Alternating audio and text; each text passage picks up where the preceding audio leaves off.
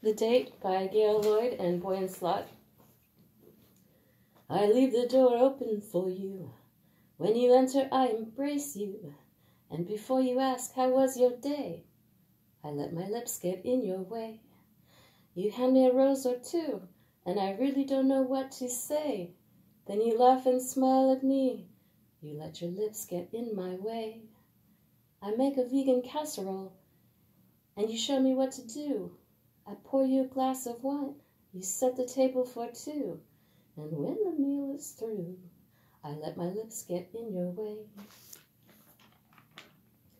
You rinse the dishes in the sink. My heart skips a beat or two. You ask me to pass the serving tray, and I let my lips get in your way. You put on some Billie Holiday, and I make us a cup of tea, and I pray. When the music starts, my lips get in your way. We begin to play a game of Scrabble. You let me win one, I let you win one too. And when you ask, shall we play again?